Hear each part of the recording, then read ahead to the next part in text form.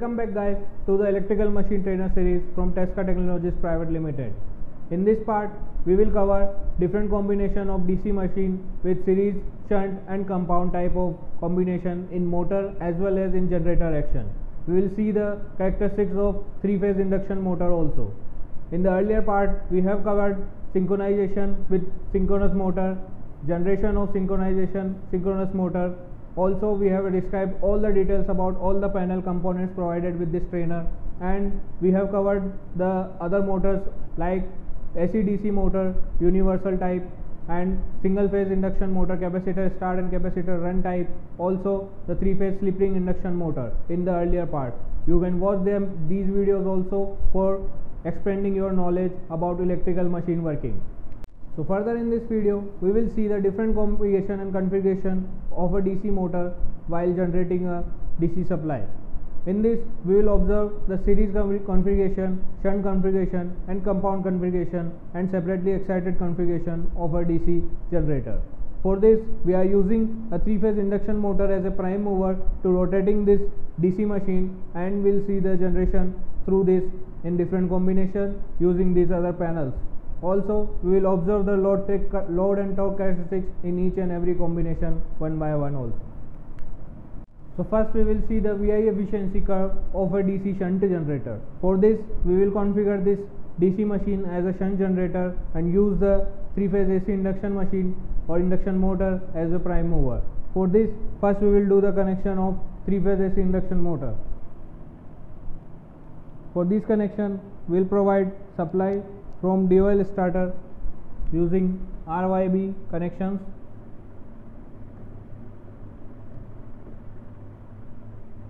To 3 phase AC measurement panel 1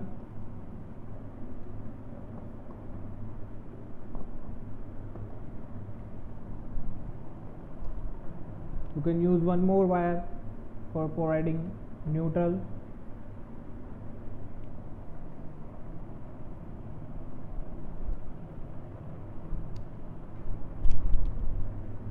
now we'll connect T5 T6 and T7 to forward reverse star delta panel T4 T5 and T6 respectively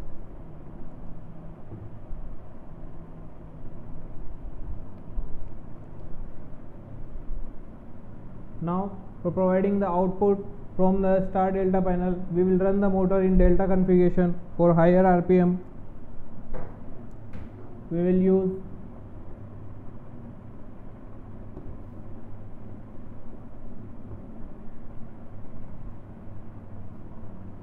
T7, T8 and T9 to U1, V1 and W1 U1, V1 and W1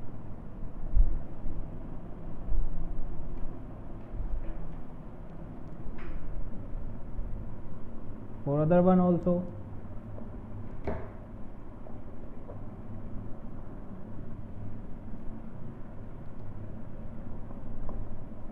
Sorry.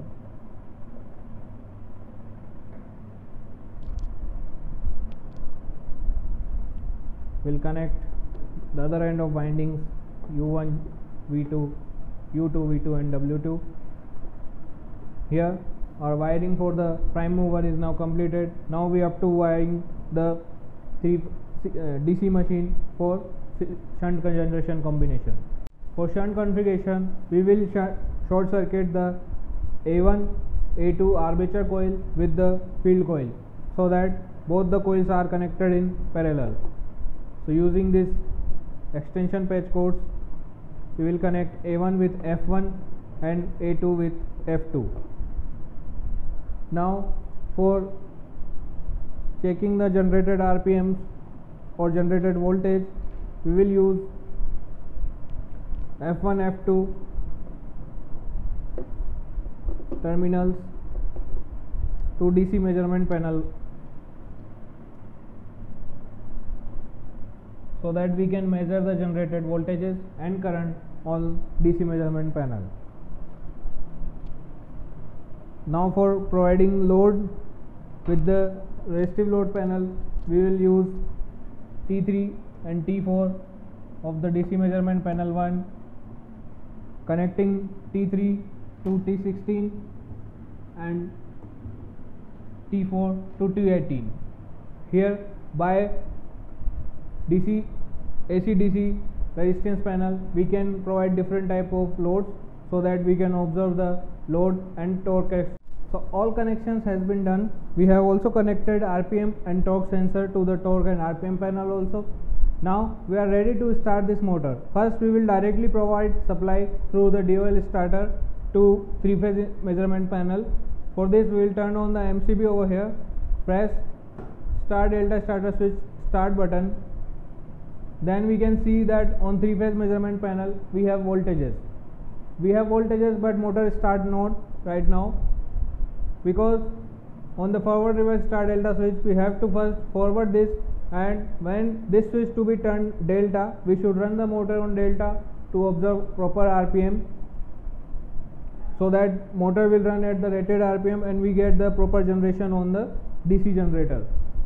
The shunt generator for this configuration. As i turn this the motor will directly started on the full rpm so here our motor is started. Now on the load and RPM panel we will observe the RPM RPM right now 2940 RPM and load is about 0.94 kg we can check the torque. The torque is 0.85 Newton meter. Voltage generation on the DC measurement panel is about 157 volts ampere is about taking zero point two seven four D C shunt generator should not be started on no load condition so we have already turn this voter resistance panel to the first position at where we are receiving seven fifty ohm on the resistance here R P M ampere can also be observe on the three phase induction motor for different loading condition for vi curve we have to change the different resistance position observe the rpm and by which we can draw the load and torque curve, speed and torque curve of a shunt generator. So here right now voltage generation is 157.4 volt and it is having load or current of about 0.66 ampere. Uh, right now RPM is 2910 RPM and I as I change the load decrease the resistance the ampere on the motor or shunt generator increases and rpm slightly decreases and the load is increased now 1.109 kg also we can measure the torque it is now 0.97 kg again we will increase the resistance decrease the resistance so that current on the motor will be over higher. Current right now on the motor is 0.94 and on the generator side we are facing load about 0.718 torque slightly increased more. When we decrease more resistance the current will more increase and voltage generation is affected. Right now voltage is generating about 145.9 volts so voltage is slightly down right now as the load increasing on the generator side. By observing the RPM right now RPM is 2880 RPM again I am decreasing the load. RPM almost same but the load or torque is slightly increasing by means and voltage is going down on the motor uh, motor side we can see the RPM on the motor is also increasing is about 1 ampere. If I decrease some more resistance the load on the motor slightly more increased. It is now 1.28 newton meters which is torque we are having. Rpm look almost same but the voltage generation is 138.5 now. And the current is 1.204 ampere for this at the last position we have maximum current 1.318 minimum rpm 28800 and maximum torque is about 1.31 newton meter So that's how you can observe all the reading on DC shunt generation combination for this DC machine. Gradually decrease the load till 750 ohm. Never remove the load while generating the load from the DC generation. Now you can easily turn off the AC machine by turning this delta switch to off position. So with this VI curve efficiency of DC shunt generation mode, we can observe that as the load increases on the shunt generator, voltage decreases and RPM also decreases. Also, the main point is to be considered that the DC shunt generator should not be started at heavy load. For that, we have switched the resistance selector switch at 750 ohm which provides higher resistance and lower current at the starting. So that was our VI efficiency curve of DC shunt generator. Now we up to on D VI efficiency curve of DC series generation. For DC series generation, we just need to consider the series coil provided on this DC trunnion mounted motor. For this, we will use a single short link for connecting armature coil and series coil in series, connecting S2 and A2 both are connected in series. Now on the other side we can observe the voltages generated by when the prime mover is rotated at earlier part similarly with the delta configuration. For measurement of voltages we are using DC measurement panel 1 we are connecting T1 and T2 from DC measurement panel 1 to A1 and S1 of this DC trunnion mounted motor or a machine.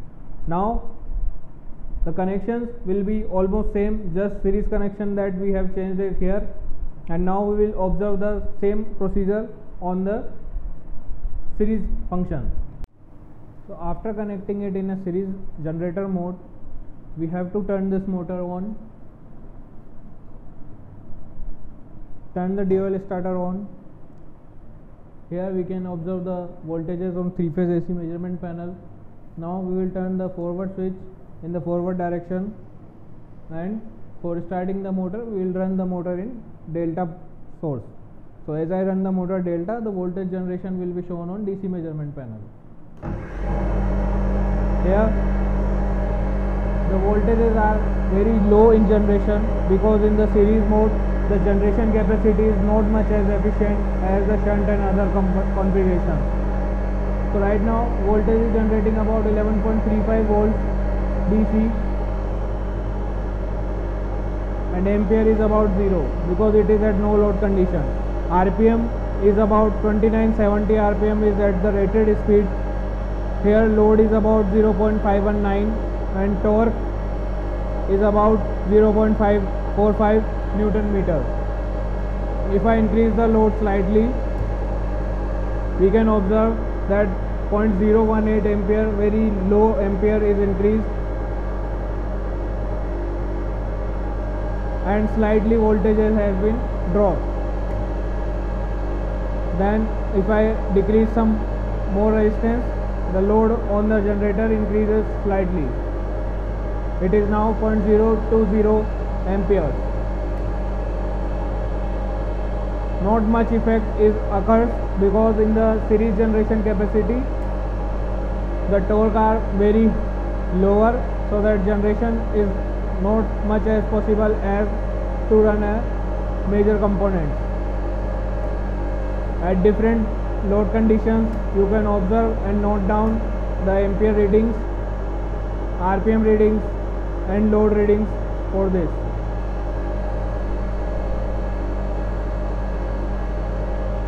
So at the maximum load. We have the load about 0.165 amperes and RPM is still same almost same.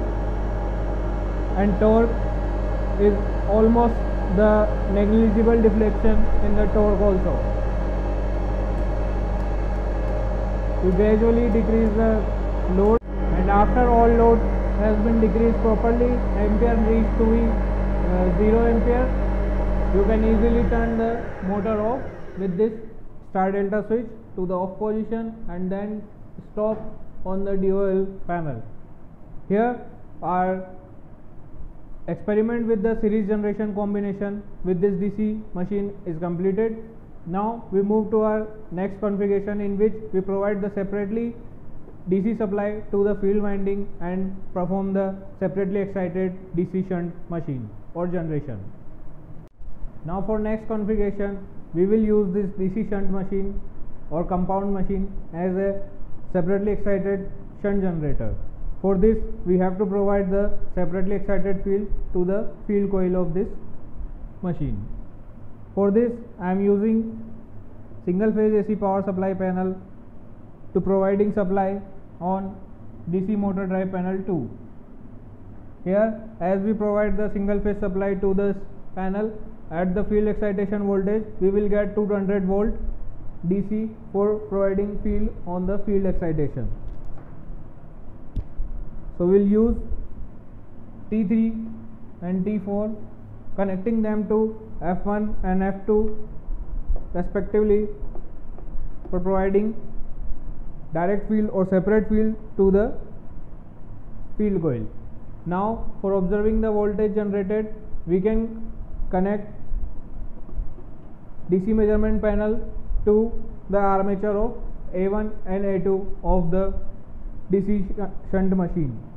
Now our DC motor is already connected in the motor configuration as per the earlier practicals and now we are ready to start the motor and check the observation and voltages on the DC shunt generator with separately excited field.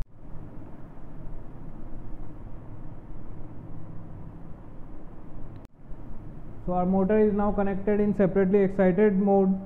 For this now we'll first turn on the AC power supply so that field generation directly provided to the field coil. Now field is provided DC excitation separately and now we will turn on this DOL starter panel. We have received the voltages on three phase AC measurement panel.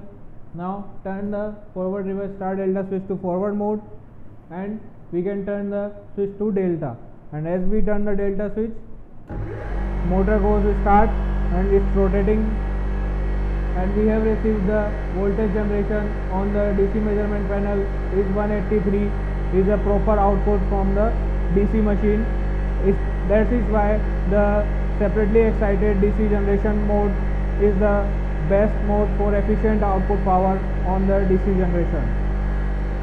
Now we'll check the RPM also RPM is about 2940 and load is about 0.7 kg or in torque we can say it is 2940 on the torque. If I increase the load on the DC generator you can see the voltages goes down. RPM is stable. And ampere slightly increased I again increase decrease the resistance. The load on the generator increases. It is about 0.316 similarly I am again in decreasing the resistance and load on the generator is now 0.620 and torque at the same time we can observe increase about 1.0 newton meter. Again I am decreasing the resistance the load on the generator is 1.87 and voltage generation is now 174 so voltage is continuously decreasing as the load increasing on the generator. Torque is now 1.17 newton meters. Now I am decreasing some more resistance. Voltage generation is now 172 again decreasing some more. Voltage generation is 168.9 and torque on the motor is now higher. It is about at 1.4 newton meters. At the minimum position the voltage generation is 165 at the start where no load condition arise the motor generating about 185 volt with the no load condition. And now with the separately excitation still at the highest load we are getting 165 voltages from this DC generation now observe all the readings in the observation table and you can find out VI efficiency curve with this combination.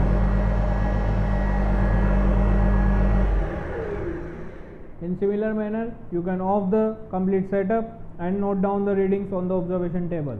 Now for the last combination, we will find out VI efficiency curve of DC shunt ma DC machine in a compound generation configuration. For this, the field winding should be provided separately excited field as described. It is now already connected as per the last practical.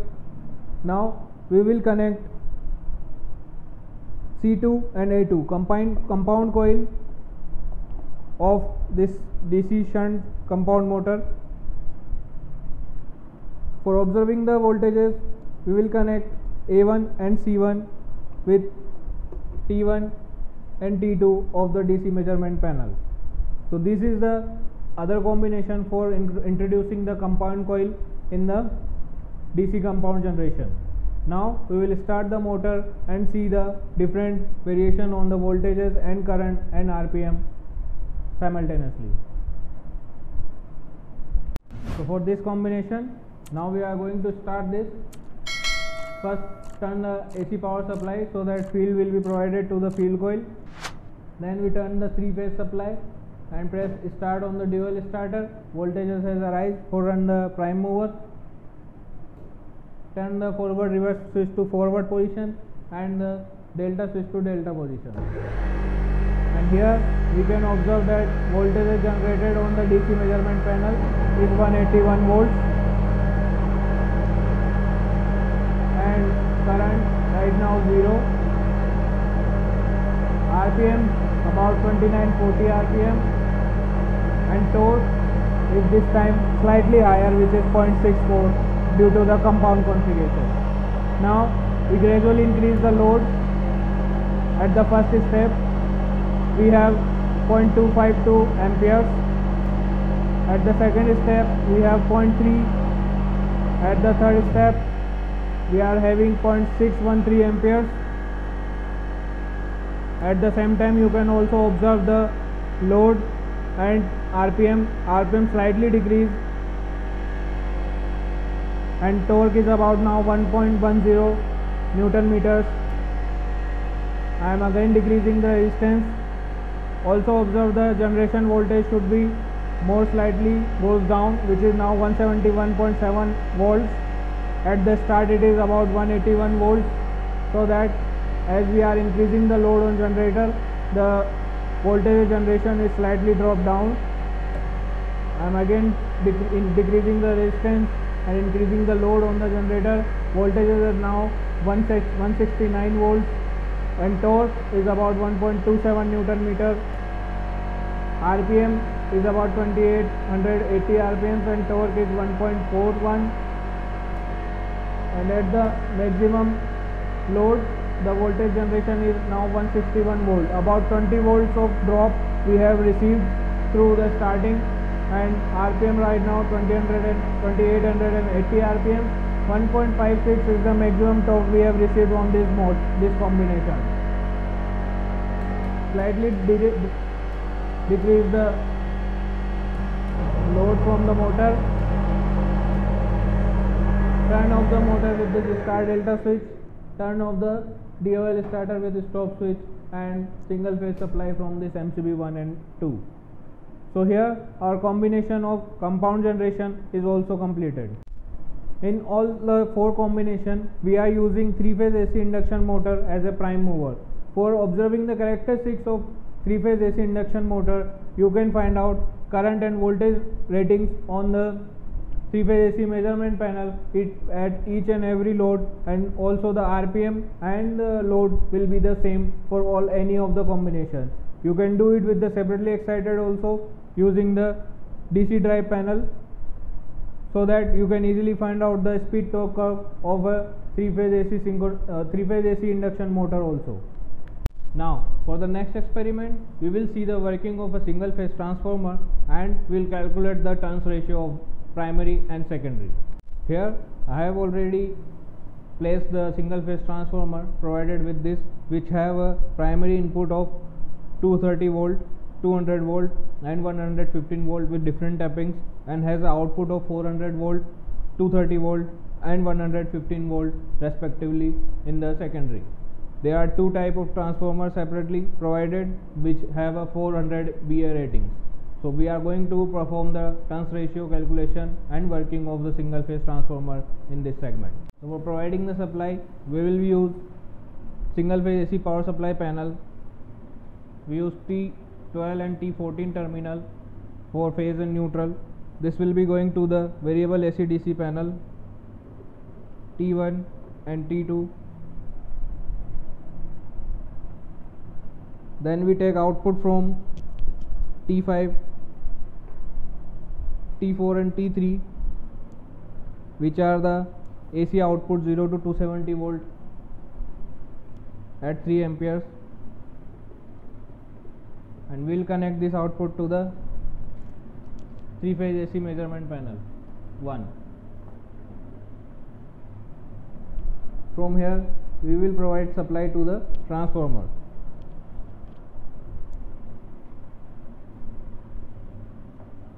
T5 and T8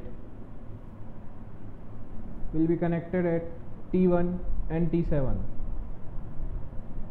on a single phase transformer. You can use either left one or right one as per your suitability.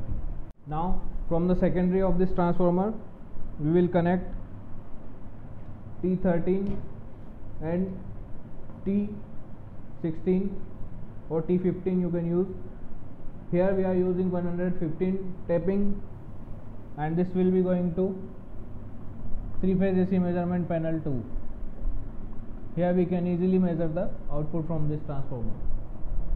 Now we will power on the circuit. For this we will turn on the single phase AC supply panel. Right now no voltage is shown on both the meters which is the primary for panel 1 and secondary for panel 2 we are using variable AC DC supply so that we can easily vary the supply and gradually increase the voltage on transformer and on the output side we will see the secondary voltages. So we'll gradually increase.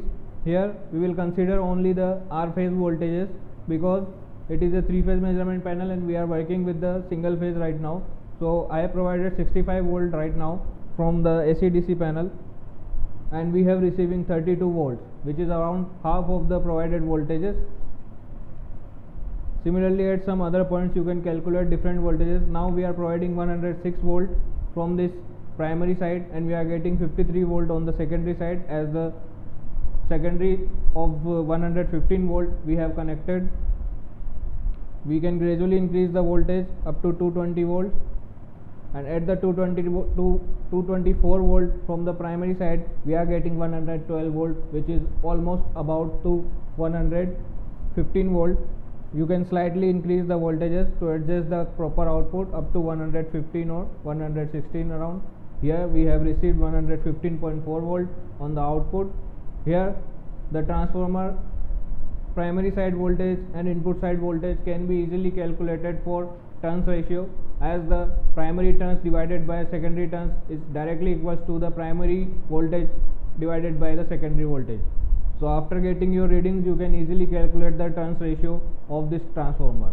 You can also observe the output with different windings also and you can find out the different turns ratio with each each and every tapping.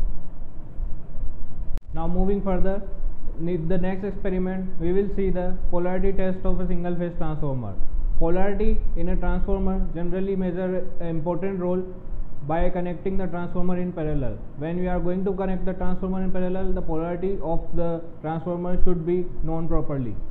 Polarity represents the voltage induced in the transformer coil in a direction where the direction of induced voltage should be proper for primary and secondary side. If it is not in proper, that the second the other transformer which are going to connected in par parallel should be have the same. If the polarity differentiates the voltage drops occurs in the output side.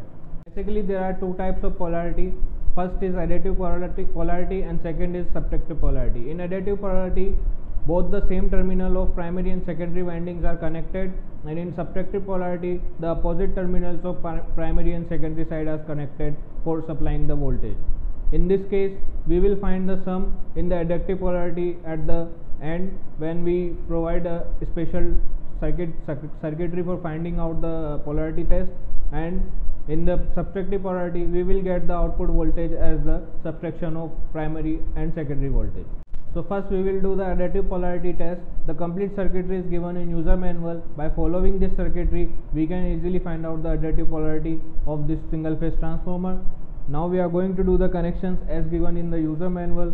For this first we will provide the supply from single phase AC panel to variac panel.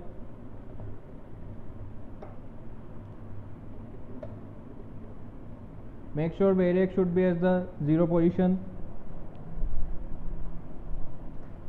Now we provide the output from T4 and T3 AC output terminals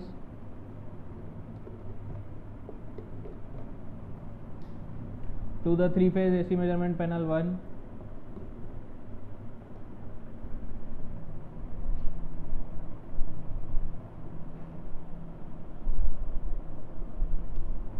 now for primary side.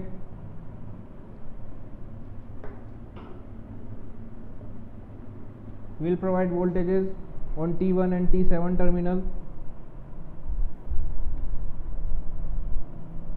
and for doing the additive polarity connections as given in the user manual we will follow the connections. We will connect primary terminal T7 with T13 of the secondary terminal.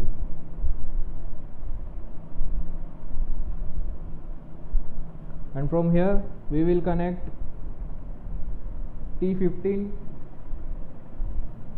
and T1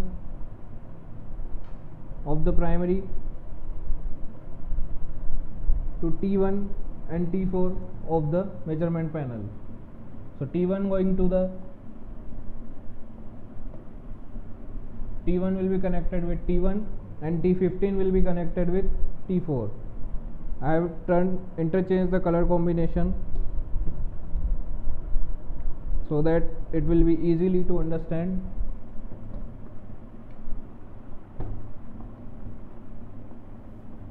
here connections has been now done properly. Now we are ready to do the additive polarity test. Now for proper observation take the same voltage reading as taken as the earlier for the turns ratio experiment.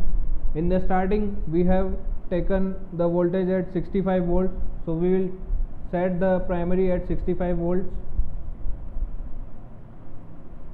And in the secondary at that time when we are getting around 32 or 35 volts right now 32 volts plus 65 volts is near about 97 volts we are getting on the secondary side so we have connected and test our proper polarity this is showing that the secondary generated voltage is added with the primary voltage and we are getting the output in the addition on the secondary measurement panel.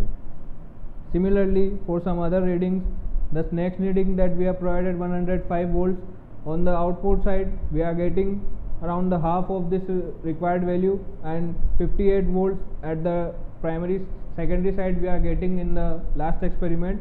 And at the same experiment same reading and same voltages we are getting added polarity output on the secondary side. So that's how with taking some more readings you can easily find out and calculate the additive polarity. Now moving ahead to the subtractive polarity test. In this we are follow the user manual and do the connection as given so firstly we'll provide single phase supply from the single phase panel to AC measurement panel 1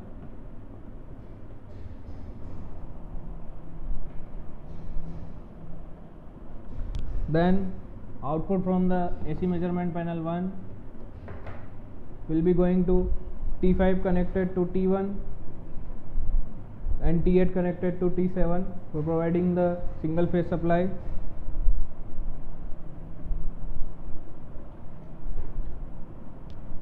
Now we will use a short link. And now this time connect T15 terminal with T7 terminal. We have connected and short circuit both the lower ends from this side. And now we'll connect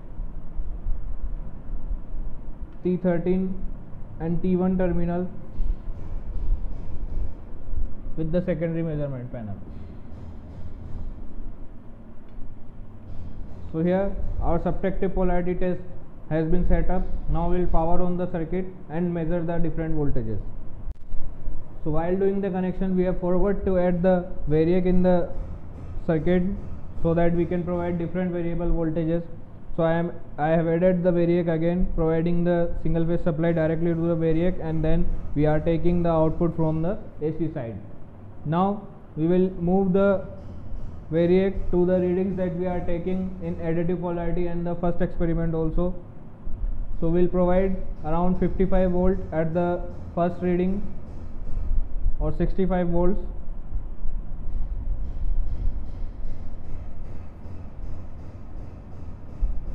so here voltage is now around 65 volts slightly lower down. And at the output we are getting 33 volts which is about half of the voltages. Now second reading at 107 volts and we are getting 35 volts on the output.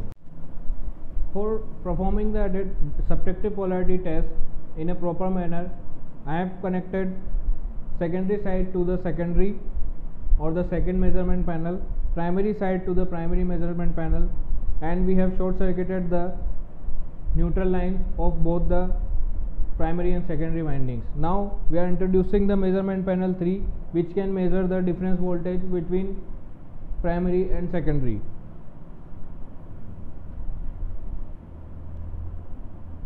As given in the schematic diagram of the subtractive polarity. You can do the same experiment with using the third meter in the additive polarity also.